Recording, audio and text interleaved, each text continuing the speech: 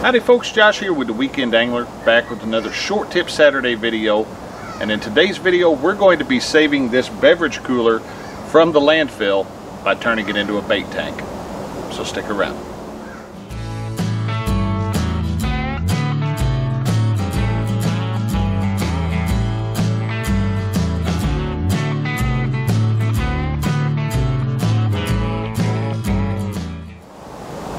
Alright guys, a few days ago my dad sent me a text. He was at work and they were getting ready to throw this insulated beverage cooler away.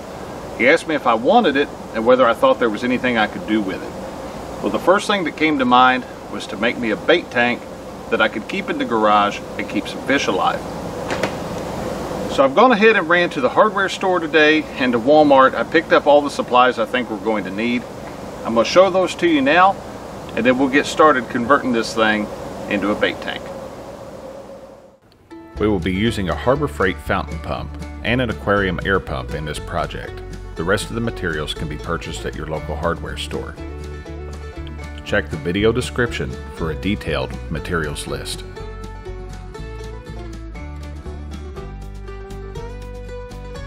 Step 1. Use a heat gun to carefully heat your PVC pipe. Bend the pipe to fit the contour of your bait tank testing periodically for fit. You may ignore this step if you are using anything other than a rounded bait tank.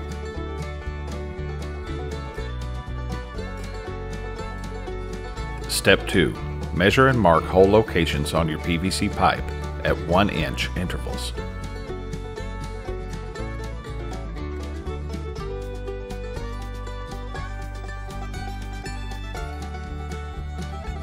Step 3. Use a drill and a 3 16 inch bit to drill holes in your pipe at the locations marked in step 2.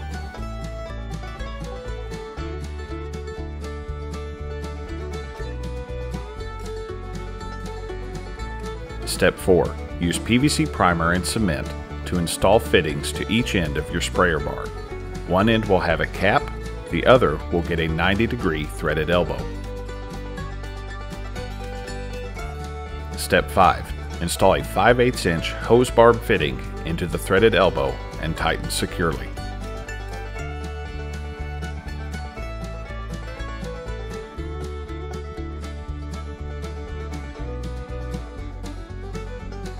Step 6.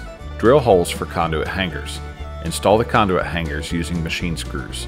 Attach sprayer bar to the hangers and tighten. Use care to avoid over-tightening the conduit hangers. This could cause damage to the sprayer bar.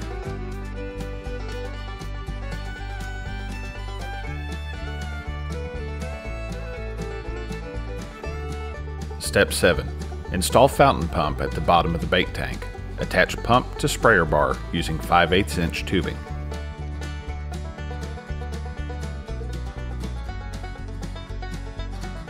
Step 8. Cut two short sections of airline tubing. Attach check valves to aquarium air pump. The check valve will be marked to indicate the direction of the flow.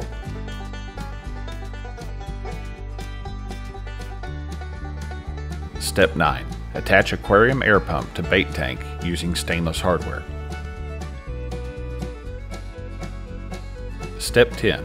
Determine desired airstone mounting locations. Route airline from airstones to aquarium pump. This beverage container had grooves that held airline perfectly. Step 11. Attach air stones to bait tank using hot glue. Step 12. Complete your installation by attaching the air lines from the air stones to the check valves on the air pump. Step 13. Test your fountain pump and air pump for proper operation.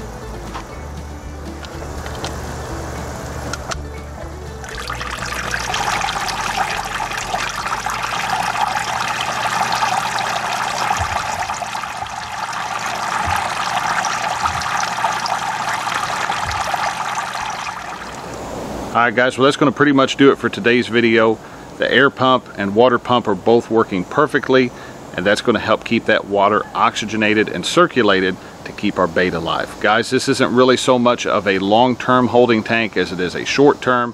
This is one of the ones where you bring bait home, it's still alive, you know you're going out in the morning, you transfer it over to this tank and it's alive in the morning when you go to leave.